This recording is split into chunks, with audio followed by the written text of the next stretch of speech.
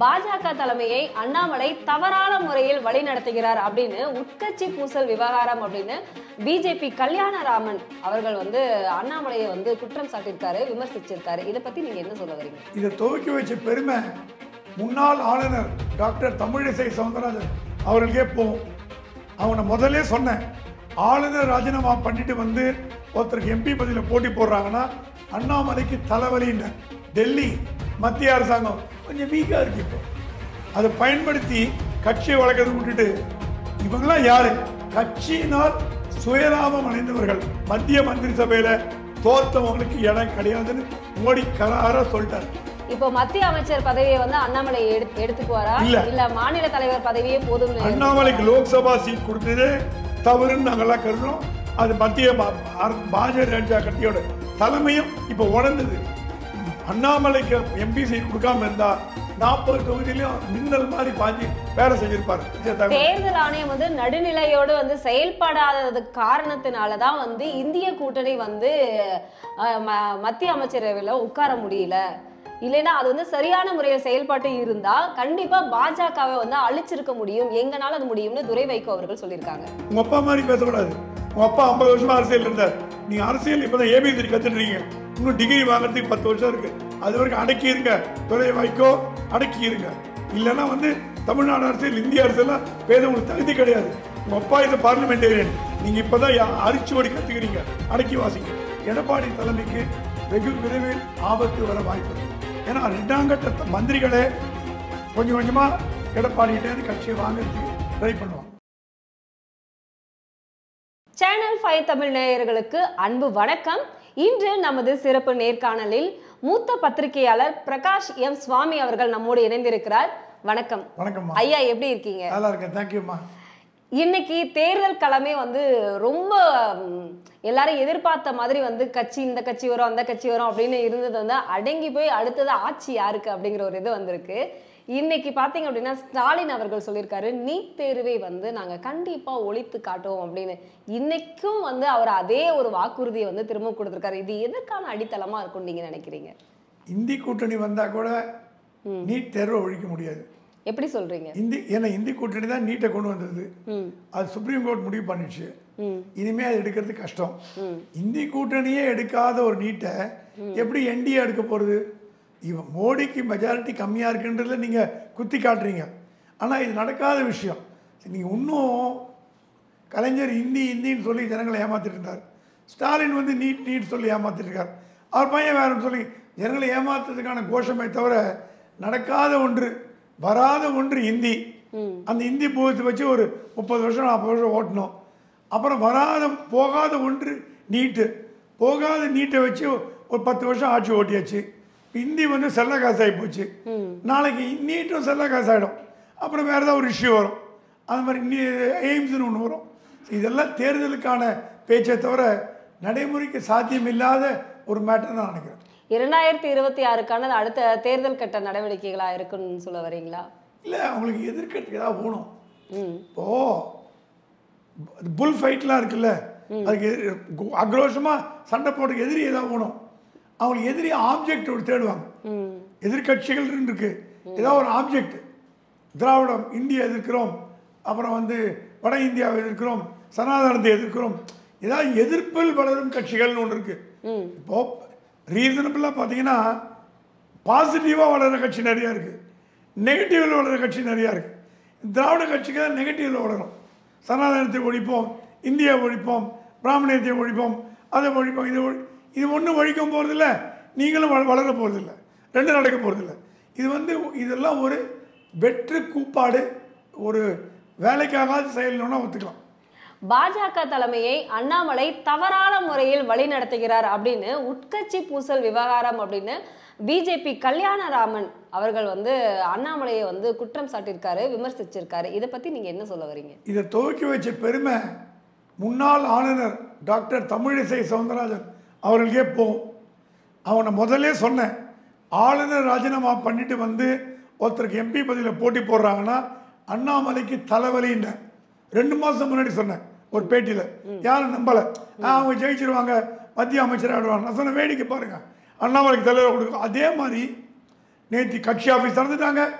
பேரலாக ரன் பண்ணுறாங்க அடி கமலாலயத்துக்கு பேரலாக என்ன அது உள்கட்சி மோதல்? காங்கிரஸை விட கேவலமாக இருக்குது. காங்கிரஸ் சத்தியமூர்த்தி பவனில் சட்டையை கிழிச்சுமா வேட்டையை கிழிச்சுமா நீங்கள் அது அடுத்து கிழிக்க போகிறீங்க கமலாலயத்தில் வேட்டி கிழிப்பு சட்டை கிழிப்பு கூடிய விரைவில் இது என்ன காரணம்னா நான் அண்ணாமலை சொல்ல மாட்டேன். மத்திய பாஜக கோஷ்டி பூசலை வளர்க்குறது. ஏன்னா நட்டா ஒரு பக்கம் அமித்ஷா ஒரு பக்கம் அப்புறம் வந்து அந்த சந்தோஷி ஒரு பக்கம். ஆளாளுக்கு கோஷ்டி. அந்த கோஷ்டியை பிரதிபலிக்கிறதுக்கு இங்கே கோஷ்டி தலைவர் இருக்காங்க. இப்போ தமிழிசை என்ன தைரியம் இருந்தால் நான் முன்னாள் தலைவர்ன்ற முறையில் வார் ரூம் மீது நடவடிக்கை எடுப்பேன் நடவடிக்கை எடுப்பேன்பாங்க. வார் ரூம்ங்கிறது யார்? அண்ணாமலை டீம் இது இது ஆரம்பித்து வச்சா இது பெருமை. டாக்டர் தமிழிசை சவுந்தரராவோட சேரும். நேற்று முதல் ஆட்சா முதல் அட்டாக் ஆரம்பிச்சாங்க அண்ணாமலை மீது. கூட்டணி வச்சு வைக்காம வச்சா போனது தப்பு. நான் வேலுமணி ஆதரிக்கிறேன். எந்த வேலுமணி? பாரதிய ஜனதா கட்சியை கடுமையான எதிர்த்த வேலுமணி. உங்க மாநில தலைவரை எதிர்த்த வேலுமணி. அந்த வேலுமணியை அம்மா ஆதரிக்கிறாங்களாம். அப்ப கட்சி மரியாதை மாண்பை குறைக்கிறதுக்கு உங்களை. கட்சி விட்டு தூக்கணும் எவ்வளோ நேரம் ஆகும்? கட்சிக்கு எதிராக செயல்படுறீங்கன்னு உங்களை கட்சி விட்டு தூக்க எவ்வளோ நேரம் ஆகும்? ஆனா மேலிடத்துல எடுக்க மாட்டாங்க. பாஜக இப்போ வீக்கா இருக்குன்னு தெரிஞ்சுது அவங்கவங்க ஆட்டம் போடுறாங்க. பாஜக மேலிடம் டெல்லி மத்திய அரசாங்கம் கொஞ்சம் வீக்கா இருக்கு இப்போ. அதை பயன்படுத்தி கட்சியை வளர்க்கறதை விட்டுட்டு இவங்கெல்லாம் யாரு? கட்சியினால் சுயலாபம் அடைந்தவர்கள். கட்சியினால் தங்களை வளர்த்து கொண்டவர்கள். தங்களை வளர்ச்சியில் அக்கறை காட்டியவர்கள். இப்போ அண்ணாமலையும் மோடியையும் கூட்டணி குறை சொல்றாங்க. எந்த மாதிரி கூட்டணி? மைனாரிட்டியால் நாங்கள் தோற்றோம் அப்படின்னு சொன்ன அதிமுக. பாஜகவால் பாஜகவில் கூட்டணி வச்சதால் மைனாரிட்டி எங்கள் பக்கம் வரல. பாஜக இஸ் கல்பிரிட் பாஜகவால் தான் நாங்கள் தோற்றோம் அப்படின்னு சொன்ன அதிமுகவை நீங்கள் ஆதரிக்கிறீங்கன்னா இதோட கட்சிக்கு துரோகம் பண்ணுறதுக்கு வேற ஒன்றும் கிடையாது. கல்யாணராமன் சொன்னீங்க. அவர் இஸ்லாமிய மதத்தை அடிக்கடி கேவலப்படுத்தி அசிங்கமாக பேசி ஒரு மத நல்லிக்க நல்லிணக்கத்தை குறைச்சி சிறைக்கு போயிட்டு வருவார். அவர் என்ன வேணாலும் சொல்லிட்டு போகிறார் அவர் முதல்ல அறிவிசார் பதவி கொடுத்ததே தப்பு. சி என்னதான் இருந்தாலும் பழைய பாஜக பழைய ஜனதாங்க வில்லை இப்போ இப்போ பா- பாரதிய ஜனதா கட்சியை விடுங்க. ஆர்எஸ்எஸ்லேயே முஸ்லீம் ராஷ்ட்ரிய மஞ்சுன்னு ஒன்று இருக்குது. ஆர்எஸ் காரனே முஸ்லீமை கொண்டாடுறான். அப்படி இருக்கும்போது முஸ்லீமை கேவலமா பேசலாமா? பேசலாமா? இப்போ நீங்க சொல்றத பார்த்தா இப்போ சமூக வலைதளங்கள்ல ஒரு விஷயம் பரவிட்டு இருக்கு அதிமுகவோட கூட்டணி அமைக்காததுனால தான் வந்து பாஜகனால இந்த சீட்டுகளை வந்து முக்கியமான வாக்குகளை வந்து அவங்களால எடுக்க முடியல அப்படிங்கிற ஒரு த இப்போ வந்து செய்தி வந்து உள்ளா வந்துட்டு இருக்குது. அது நீங்க பார்த்திருப்பீங்க. அது வந்து ஏற்கக்கூடியது தானே அடுத்தது கேள்வி கேளுங்களேன். திமுகவோட கூட்டணி வச்சு தான் நாற்பது சீட் ஜெயிச்சிருப்போமே. கொள்கைன்னு மட்டும் வேணாமா பிஜேபிக்கு. சொல்லி சொல்லிடுங்க. பாஜக கொள்கை கிடையாது. நாங்கள் மற்ற பார்ட்டி வித் டிஃப்ரென்ஸா பார்ட்டி வித் டிஃப்ரென்சஸா கொள்கை இல்லைன்னு சொல்லிடுங்க. மற்றவங்க காங்கிரஸ் மாதிரின்னு சொல்லிடுங்க. நாங்கள் ஓரம் கட்டிடுறோம். நீங்கள் என்னவோ புனிதர் மாதிரி பேசுகிறீங்க இங்கே வந்து ஓட்டுக்கு கூட்டணி வச்சு இண்டிபெண்ட்டாக ஜெயிச்சு இவ்வளோ வந்தது அதிசயம். முக்கால்வாசி இடத்துல ரெண்டாவது இடத்துக்கு வந்திருக்கீங்க. ஒரு குழந்தை தவழ்ந்து தான் நடக்கும். நடந்து தான் ஓடும். தமிழ்நாட்டில் குழந்தையா இருந்தது பிஜேபி. ஜீரோவில் இருந்தது. நோட்டா கீழே இருந்தது. இப்போ ப பதினோரு பன்னெண்டு இடத்து பன்னெண்டு பர்சன்டேஜ் வந்திருக்கு. இது வளர்ச்சியாக உங்களுக்கு தெரியல. சீட்டை பிடிச்சி மத்திய மந்திரி ஆகணும்னு உங்கள் ஆசை. அந்த ஆசையில் மண்ணவாரி போட்டார் அண்ணாமலை.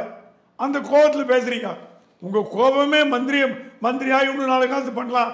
பண்ண காசு போராது இன்னும் நாளைக்காவது பண்ணலான்ற எண்ணத்தில் இருந்ததுனால அந்த ஆப்பர்ச்சுனிட்டி கெட்டு போனதுனால அது வாயில் மண்ணாள்ளி போட்டதுனால கோபத்தில் பேசுகிறீங்க கல்யாணராமன் பேசுகிறத விடுங்க. அவர் ஆர்எஸ்எஸ் நல்ல நல்ல ஒரு ஹார்ட்கோர் ஆர்எஸ்எஸ் நிர்வாகி தான் அவர் ஏன் அப்படி பேசினார்னு தெரியல. ஆனால் தமிழிசை பேசுறது அண்ணாமலை மேல் உள்ள பகமையில் பேசினாங்கன்னு நான் கருதுறேன். இப்போ அண்ணா மத்திய அமைச்சரவை மத்திய அமைச்சர் பதவி வந்து அண்ணாமலைக்கும் தமிழிசை சவுந்தரராஜனுக்கும் வந்து கிடைக்கிறதுக்கான வாய்ப்புகள் இருக்கு. தமிழகம் பாஜக மாநில தலைவர் பதவி வந்து வானதி சீனிவாசன் அவர்களுக்கு வந்து கிடைக்க வாய்ப்புகள் இருக்கு.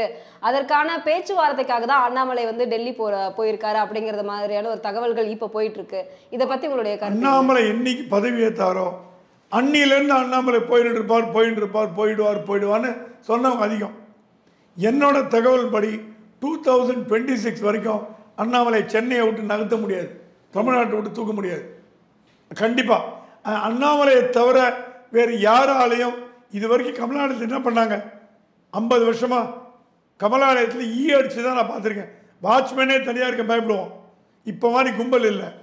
அஞ்சு மணி காரில் வருவாங்க தலைவர்கள். அண்ணாமலைக்கு முன்னாடி. டீ சாப்பிடுவாங்க. ஈவினிங் பேப்பரை படிப்பாங்க. நாட்டில் என்ன நடக்குதுன்னு கேட்பாங்க. டிவியை பார்ப்பாங்க. ஏழு மணிக்கு வீட்டுக்கு போடுவாங்க. அதுதான் கட்சியை வளர்த்த விதம். அப்படி தான் கட்சியை வளர்த்தாங்க. அரும்பாடுபட்டு கட்சியை வளர்த்தது எப்படின்னா அஞ்சு மணிக்கு ஆஃபீஸ்க்கு வந்து பஜ்ஜி போண்டா டீ சாப்பிட்டு ஏழு மணிக்கு வீட்டுக்கு போகிற தலைவர்கள் இந்த எண்ணாமலை இருபத்தி நாலு மணி நேரமும் கட்சிக்கோசரம் பாடுபட்டார் பாருங்கள் அவருக்கு இது வேணும் இன்னும் வேணும். அப்படி தான் பேசுவாங்க. ஏன்னா இதுக்கு முன்னாடி தலைவர்கள் வேலையே செய்யலை. பணத்தை மட்டும் சுருட்டிக்கினாங்க நல்லா சாப்பிட்டு பண்ணிக்கினாங்க அப்புறம் எல்லாம் அஜால் குஜால் வேலைலாம் பண்ணி கமலாலயம் பேரை கெடுத்தாங்க. அப்படிப்பட்ட தலைவர் மத்தியில் ஹார்ட் ஒர்க் பண்ணுற அண்ணாமலை வந்து அவளுக்கு பிடிக்காம போகல நியாயம் இல்லை. அது தப்பு கிடையாது. ஆனால் இதுக்கு முன்னாடி எந்த தலைவரும் பாரதிய ஜனதா கட்சியை இந்த அளவுக்கு வளர்த்ததில்லை நானும் நாற்பத்தஞ்சு வருஷமாக பத்திரிகையாளர் வந்து பார்த்துருக்கேன். ஈ அடிக்கும். பாரதிய ஜனதா தமிழோட க கமலாலயத்தில் ஈ அடிச்சுட்டு நடந்தது. ஒரு கார் ஒரு சைக்கிள் நிற்காது அது கண்டுபிடிக்கிறதே கஷ்டம். இப்போ டி நகரில் மட்ராஸ் முழுக்க கமலாலயம்னு எல்லாமே கொண்டு விட்டுருவான். அந்த வளர்ச்சி இவங்க கண்ணை ஏன் உறுத்துதுன்னா நம்ம பீரியடில் இந்த வளர்ச்சி வரலையே அப்படின்ற பொறாமை. நம்ம பீரியடில் ஒன்றும் வளரலையே. அண்ணாமலை கிரெடிட் எடுத்துகிட்டு போயிட்டாரு. மோடி பாராட்டுறாரு. இன்னும் கொஞ்ச நேரம் இருங்க. உங்களை வீட்டுக்கு அனுப்புறாரு மோடி. அப்போ தெரியும் மத்திய மந்திரி சபையில் தோத்தவங்களுக்கு இடம் கிடையாதுன்னு மோடி கராராக சொல்லிட்டார். இப்போ மத்திய அமைச்சர் பதவியை வந்து அண்ணாமலை எடுத்து எடுத்துக்குவாரா. இல்ல. மாநில தலைவர் பதவியே போதும் அண்ணாமலைக்கு லோக்சபா சீட் கொடுத்ததே தவறுன்னு நாங்கள்லாம் கருதுறோம்.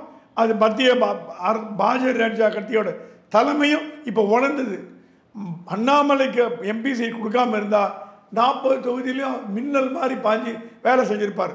அவரை நீங்கள் வந்து சில பேர் சொன்னதுனால முடக்கி போட்டீங்க. சந்தோஷி மெயினாக முடக்கி போட்டது சந்தோஷி தான். முடக்கி போட்டீங்க. முடக்கி போட்டதுனால என்னாச்சு? தமிழ்நாட்டில் நாற்பது பேர் ஜெயிக்க முடியாமல் போச்சு. ஏன்னா அண்ணாமலை கேம்பெயின் பண்ண முடியல. இப்போது அண்ணாமலைக்கு மந்திரி பதவி கொடுத்தா கொடுக்கறதுங்கிறது இம்பாசிபிள் கொடுத்தாலும் அவர் எடுத்துக்க மாட்டார். எனக்கு தெரிஞ்சு ஹெச் ராஜா உ- உடல் நலத்தினால போட்டி போடாமல் இருந்தார் லோக்சபாவில் அவர் ராஜ்யசபாவில் போட்டு அழகு பார்த்து அவரை யூனியன் மினிஸ்டர் ஆக்கிடுவாங்க. ஏன்னா எல் கணேசன் கவர்னராக போயிட்டார். சிபி ராதாகிருஷ்ணன் கவர்னராக போயிட்டார். அப்புறம் வந்து சண்முகநாதன் கவர்னராக இருந்து ஓய்வு பெற்றுட்டார். சிபி அப்புறம் வந்து பொன் ராதாகிருஷ்ணன் அமைச்சர் கேண்டிடேட் ஆனால் தோற்று போயிட்டார். நயனா நாகேந்திரன் அமைச்சர் கேண்டிடேட் தோற்று போயிட்டார். வா- இவங்க தமிழிசை சவுந்தரராஜன் அமைச்சர் கேண்டிடேட் தோற்று போயிட்டாங்க. தோற்று போனவங்களை திருப்பி ராஜ்யசபாவில் வச்சு எம்பியாக கொடுத்து மந்திரி ஆக்குனீங்கன்னா தொண்டர்கள் கொதித்து எழுவார்கள். ரெண்டாம் கட்ட தலைவர்லாம் கேட்பாங்க ஏன்பா உங்களுக்கு இவங்களை விட்டா அவர் வழியே கிடையாதா? மாநில தலைவர் கவர்னர் துணைநிலை ஆளுநர் எம்பி தேர்தல் போட்டி போடுறவர் தோற்று போன ராஜ்யசபை ராஜ்யசபை ம- மத்திய மந்திரி சபை என்ன நடக்குது? அண்ணாமலை அவர்களுடைய அடு- அடுத்த நடவடிக்கை என்னவாக இருக்கும் அப்படின்னு நீங்க நினைக்கிறீங்க? கட்சியை க்ளீன் பண்ண போறார். சொல்லிட்டா டெல்லிக்கிட்ட ஒன்று கட்சியை க்ளீன் பண்ணுங்க. இந்தாங்க என் ராஜினாமா. யாரையா வச்சு நடத்திக்கங்க. என்னால் முடியாது. இந்த மாதிரி பண்ணீங்க டெல்லி சொல்லிட்டான் கொஞ்சம் வெயிட் பண்ணுங்க. ஃபுல் ஹேண்டு கொடுக்குறோம். மாநில முன்னாள் மாநில தலைவர் கட்சி விட்டு நீக்க வேணாம். மாநில தலைவருக்கே கட்சி விட்டு நிற்கிற அதிகாரம் டெல்லி கொடுக்க போகுது இப்போ. எவன் தமிழ்நாட்டில் ஆடுறானோ பாலம் ஒட்ட நறுக்குங்கன்னு. அந்த அதிகாரம் அண்ணாமலைட்ட கையில் வந்தால் தான் தமிழ்நாடு பாஜக உருப்பிடும். இல்லைன்னா திருப்பி காங்கிரஸ் மாதிரி சண்டையை கீழ்ச்சின்னு ஒரு ரோட்டில் வந்து நிற்கக்கூடிய ஒரு பரிதாபமான நிலைமை பாஜகவுக்கு வந்துடும் ஐக்கிய ஜனதா தளத்தோட தலைவர் நிதிஷ்குமார் அவர்கள் சொல்லியிருக்காங்க இன்னைக்கு எதிர்கட்சியில் இருக்கக்கூடிய இந்திய கூட்டணி நாளைக்கு வந்து தோல்வியை அடைஞ்சு அடுத்த தேர்தலில் தோல்வியை தான் சந்திக்க போறாங்க. எதிர்க்கட்சி இல்ல அவங்க முன்னாடி கூட உட்கார முடியாது அப்படின்னு சொல்லி சொல்லியிருக்காரு. இதை பத்தி உங்களுடைய கருத்து என்ன? என்ன காரணம்னா உத்தவ் தாக்கரே நேற்று இந்தி கூட்டணி மீட்டிங் அட்டன் பண்ணல. கவனிச்சிங்களா? உத்தவ் தாக்கரே போல. எப்படி ஸ்டாலின் வந்து தேர்தலுக்கு பிறகு இந்தி கூட்டணி மீட்டிங் போலையோ உத்தவ் தாக்கரே போல. மோடி என்ன பண்ணியிருக்கார் இப்போ மூணு பெரிய லீடிங் பார்ட்னர் தான் என்டிஏல இருக்காங்க. நிதிஷ்குமார் சிராக் பாஸ்வான் சந்திரபாபு நாயுடு. இவங்க மூணு பேர் டிமாண்ட் ரொம்ப கேட்குறாங்க அவங்கள ஓரம் கட்டுறதுக்கு உத்தவ் சாக்கரே உள்ளே கொண்டு வந்து எப்படி இபிஎஸ்சி ஓபிஎஸ்சி அனுப்பிச்ச மாதிரி சிவசேனா விதைக்க போகிறார் உத்தவ் தாக்கரேக்கு இனிமேல் ஒரு வழி கிடையாது. சந்திரபாபு நாயுடு மாதிரி மோடி காலில் விழுந்தால் தான் பிடிக்க முடியும். ஏன்னா அங்கே சரத்பவார் ரொம்ப ஸ்ட்ராங் ஆகிட்டு வரார் உத்தவ் தாக்கரே வளர்ச்சி அவருக்கு பிடிக்கல. இந்த தேர்தலில் உத்தவ் தாக்கரே கட்சி தோற்று போனதுக்கு காரணமே சரத் பவார் தான் உணர்ந்துட்டார் உத்தவ் தாக்கரே. மோடி இல்லைன்னு உணர்ந்துட்டார். ஸோ மோடியோட தயவில் சிவசேனா ஒன்றா போகிறது உத்தவ் தாக்கரே உள்ளே வரப்போகிறார் உத்தவ் தாக்கரே உள்ளே வந்தார்னா மோடிக்கு ஒரு கை ஒரு கை பலம். இந்த மூணு பேரும் ரொம்ப வெயிட் ஜாஸ்தியாக இருக்குல்ல அந்த வெயிட்டை பேலன்ஸ் பண்ணுறதுக்கு உத்தவ் தாக்கரே வர்றார் இதை தான் நிதிஷ்குமார் சொல்லியிருக்காருன்னு டெல்லியிலேருந்து எனக்கு கிடைச்ச தகவல். தேர்தல் ஆணையம் வந்து நடுநிலையோடு வந்து செயல்படாதது காரணத்தினால தான் வந்து இந்திய கூட்டணி வந்து ம- மத்திய அமைச்சரவையில் உட்கார முடியல. இல்லைன்னா அது வந்து சரியான முறையில் செயல்பாட்டு இருந்தா கண்டிப்பா பாஜகவை வந்து அழிச்சிருக்க முடியும். எங்கனால அது முடியும்னு துரை வைகோ அவர்கள் சொல்லியிருக்காங்க. ஏன் இவிஎம் விட்டீங்க இவிஎம் தான் வழக்கமாக சொல்லுவீங்க இவிஎம்ல ரஷ்யா மை சைனா மை அமெரிக்கா மை லேப்டாப் கம்ப்யூட்டர் ஹேக்கிங் ஏன் அந்த வார்த்தை சொல்ல? முடியல. ஏன்னா உங்களுக்கு இந்த ஓட்டு வந்து ஜாஸ்தி. இந்த சீட்டு வந்தது அதிகம் உங்களுக்கு தெரியும். ஸோ இவிஎம் குறைச்சோன்னா ஜனங்க காரித்து போவாங்க. ஸோ ஏதாவது ஒன்று சொல்லி நான் சொல்கிறேன் இண்டி கூட்டணி முந்நூறு சீட்டு வந்திருக்கும். எப்போ தெரியுமா? ராகுல் காந்தி பிரதமர் வேட்பாளர்னு அறிவிச்சிருந்தீங்கன்னா இந்திக்கு முன்னூறு வந்திருக்கும். உங்களுக்கு அது தைரியம் இல்லை. யார் பிரதமர் வேட்பாளர்னு தேர்தலுக்கு பிறகு கூட உங்களுக்கு முடிவு பண்ண முடியல. ஆகவே இந்தி கூட்டணி தோற்றத்துக்கு காரணம் உங்களோட தலைமையின்மை தான் நீ நேற்று அரசியலுக்கு வந்துட்டு உங்கள் அப்பா மாதிரி பேசக்கூடாது. உங்கள் அப்பா ஐம்பது வருஷமாக அரசியல் இருந்தார் நீங்கள் அரசியல் இப்போ தான் ஏபிசிடி கற்றுட்றீங்க இன்னும் டிகிரி வாங்குறதுக்கு பத்து வருஷம் இருக்குது அது வரைக்கும் அடக்கிடுங்க துறை வாய்க்கோ அடக்கிடுங்க இல்லைன்னா வந்து தமிழ்நாடு அரசியல் இந்திய அரசியல்லாம் பேச உங்களுக்கு தகுதி கிடையாது. உங்கள் அப்பா இஸ் பார்லிமெண்டேரியன் நீங்கள் இப்போ தான் அரிச்சுவடி கற்றுக்கிறீங்க அடக்கி வாசிங்க.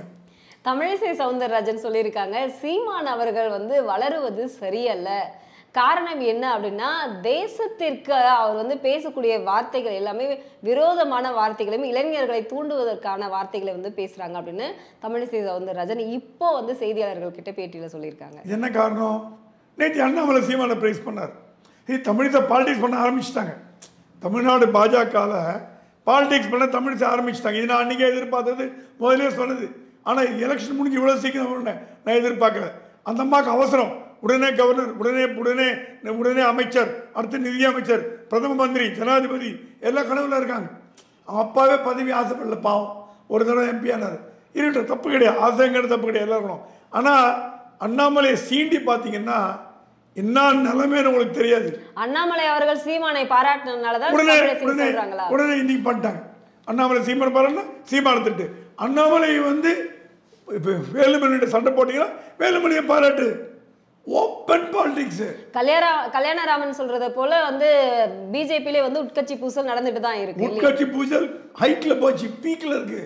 இது காரணம் டெல்லி. அண்ணாமலை வேடிக்கை பார்த்துட்டு இருக்காரு. பேசுற வரைக்கும் பேசுங்க. நாளைக்கு இன்னும் ரெண்டு பேர் பேசுவோம். எல்லாம் மொத்தமாக சேர்த்து ஆப்பு வைப்பாங்க. எல்லாம் தமிழிசையும் அடக்கப்படுவார் இல்லை கட்சி விட்டு எடுக்கப்படுவார் இல்லை அந்த கல்யாணராமனும் அடக்கி வைக்கப்படுவார் இல்லை அவர் ஆர்எஸ்எஸ் அனுப்பப்படுவார் இந்த மாதிரி வந்து தலைமைக்கு எதிராக போகிறது ரொம்ப தப் கேட்டால் அந்த அம்மா சொல்லுது தமிழுக்கு ஃப்ரீடம் ஆஃப் எக்ஸ்பிரஷன் நீங்கள் தலைவராக இருக்கும்போது ஃப்ரீடம் எக்ஸ்பிரஷன் கொடுத்தீங்களா? கொடுக்கலையே. எவ்வளோ பேர் தூக்கி போட்டீங்களே? சோஷியல் மீடியாவில் ஸ்போக்ஸ்மேன் மீட்டிங் போட்டிருக்கீங்க. ஸ்போக்ஸ்மேன்லாம் உட்கார வச்சு பேசிட்டு இருக்கீங்க. ஸ்போக்ஸ்மேன் ஏதோ சொல்கிறான் இந்த மாதிரி பேசுகிறாங்கன்னு எளியில் எழுந்து காரில் போய் ஸ்போக்ஸ்மேன் உட்காரும்போது you remove from spokesmanship speaks spokesmanship you remove from spokesmanship அப்படின்னு கொடுத்த தலைவர் நீங்கள் சர்வாதிகாரமாக செயல்பட்டீங்க. அந்த ஸ்போக்ஸ்மேன் அப்புறம் எட்டியே பார்க்கல உங்கள் கட்சி பக்கம். ஆனால் இப்போ எனக்கு என்ன போயிட்டான் அப்படி சர்வாதிகாரி செயல்பட்டு நீங்கள் ஸ்போக்ஸ்மேனை மீட்டிங்கில் உட்கார வச்சு காரில் ஏறதுக்குள்ளே ரிமூவ்னு போட்ட நீங்கள் அண்ணாமலை சொல்கிறதுக்கு என்ன தகுதி இருக்குது இப்போ ஓபிஎஸ் டிடிவி தினகரன் ஆம், அடுத்ததா பார்த்தீங்க அப்படின்னா எல்லாருமே வந்து டெல்லிக்கு வந்து புறப்பட்டு போயிருக்காங்க. இவங்களுடைய அடுத்த கட்ட நடவடிக்கை என்னவாக இருக்கும்னு நீங்க நினைக்கிறீங்க? தேவநாயகம் கூட தான் போயிருக்கார். சரி இவங்கெல்லாம் என்டிஏ கூட்டணியில் இருந்தாங்க. இந்த தேர்தல் வந்து பெரிய திருவிழா. அந்த திருவிழாவில் ஓபிஎஸ் கலந்துனாரு டிடிவி கலந்துனாரு தேவநாயகா கலந்துனாரு பாரிவேந்தர் கலந்துனாரு ஏசி சண்முகம் இவங்கெல்லாம் கூட்டணி கட்சி. இவங்க எல்லாமே மோடி மேலே ஒரு மரியாதை ஜி கே வாசன். இவங்களாம் மோடி மேலே ஒரு மரியாதை வச்சுருந்தாங்க ஒரு ரெஸ்பெக்ட் உள்ளவர். ஸோ மோடி என்டிஏ கூட்டணி மீட்டிங் போடும்போது இவங்கெல்லாம் கூப்பிட்டுருக்காரு. தேர்தலில் ஜெயிக்கிறது தோக்கிறதுன்னு அடுத்த விஷயம். என்டிஏ கூட்டணியில் பலமாக இவங்களாம் எடுத்திருக்காங்க. ஒரு மோடியை பார்த்து தேங்க் பண்ண போயிருக்காங்க. இதில் ஒன்றும் பெரிய பாலிடிக்ஸ் தெரியல. பட் என்டிஏ கூட்டணியில் ஒரு மரியாதைக்கோசரம் கலந்துக்க போயிருக்காங்க. எடப்பாடி அவர்களுடைய அடுத்த கட்ட நடவடிக்கை என்னவாக இருக்கும் அப்படின்னு நீங்க எதிர்பார்க்குறீங்க? See எனக்கு தெரிஞ்சு உட்கட்சி பூசல் வருவாங்க ஆரம்பிச்சிருக்கும் கொஞ்சம் கொஞ்சமா. ஏன்னா ஏடிஎம்கே பதவியில் இல்லாமல் ரொம்ப நாள் இருக்க முடியாது. எம்எல்ஏ பதவி எம்பி பதவி. ஆனா எடப்பாடி பண்ண தப்பு என்னன்னா கூட்டணி கூட விட்டுருங்க. புதுமுகங்களை போடக்கூடாது. ஏன்னா ஜெயலலிதா நீங்க இல்லை. ஜெயலலிதா புதுமுகத்தை போட்டு ஒரு வட்ட செயலாளர் ஒரு ஒரு ஒரு ஆர்டினரி தொண்டர் நிற்க வச்சு எம்பி ஆக்கி மந்திரி ஆக்கிடுவாங்க. ஜெயலலிதாட்ட முடியும். நமக்கு நீங்க என்ன பண்ணிக்கணும்? செங்கோட்டை நிற்க வச்சிருக்கணும் திண்டுக்கல் சீனிவாசன் நிற்க வச்சிருக்கணும். அந்த மாதிரி கட்சி தலைவர் இவங்க நிற்க நம்ம அறிமுகமான நபர்களை அறிமுகமான நபர்கள். அவங்கள நிற்க வச்சு நிற்க வச்சிருந்தீங்கன்னா வெற்றி கிடைச்சிருக்கும். இப்போ வந்து செங்கோட்டையெல்லாம் போடுறது ஷூர் வின் அந்த மாதிரி போடாமல் எல்லாம் புதுமுகம் புதுமுகம் புதுமுகமாக போட்டு நீங்கள் வந்து தோக்கடி நீங்கள் நீங்கள் ஒரு காரணம். இப்போ ஆற்றல் அசோக்குமார் பீப்புள்கிட்ட நீங்கள் ஃபண்டு கொடுக்கல. அவர் செலவு பண்ணிட்டார். ஸோ செலவுக்கு பயந்து புதுமுகங்களை போட்டிங்களா? அவங்களே செலவு பண்ணிப்பாங்க. நமக்கு செலவு இல்லை. அப்படின்னு செலவு பண்ணக்கூடிய கேண்டிடேட் எடுத்து போட்டிங்களா? ஏன்னா செங்கோட்டையெல்லாம் போட்டிங்கன்னா நீங்கள் பணம் கொடுத்தா ஆகணும். சினிமா துறையை மனசுல வச்சுட்டு முடிவு பண்ணியிருப்பாரு திரும்ப திரும்ப ஏன்னா உங்ககிட்ட நிதி இல்லாமல் இல்லை. ஜெயலலிதா பணம் இருக்குது சசிகலா பணம் இருக்குது நீங்கள் சேர்த்த பணம் இருக்குது உங்கள் கட்சிக்காரன் சேர்த்த பணம் இருக்குது மந்திரி சபை சேர்த்த பணம் இருக்குது எல்லா பணமும் இருக்குது அதை எடுத்து கொஞ்சம் வெளியில் விட்டுருந்தீங்கன்னா ஜெயிச்சிருப்பீங்க. நீங்கள் தோத்ததுக்கு காரணம் உங்கள் பட்ஜெட் டைட் பண்ணதுனால தான் ஒரு காரணம் முதல் காரணம். ரெண்டாவது காரணம் இதெல்லாம் வந்து ஒரு ஒரு சும்மா சாக்கு. ஆனால் எடப்பாடி தலைமைக்கு வெகு விரைவில் ஆபத்து வர வாய்ப்பு இருக்குது ஏன்னா ரெண்டாங்கட்ட மந்திரிகளே கொஞ்சம் கொஞ்சமாக எடப்பாடிகிட்டேருந்து கட்சியை வாங்குறதுக்கு ட்ரை பண்ணுவாங்க. ஐயா உங்களுடைய தகுதியான நேரங்களை எங்களுக்காக செலவிட்டதுக்கு ரொம்ப. நன்றி.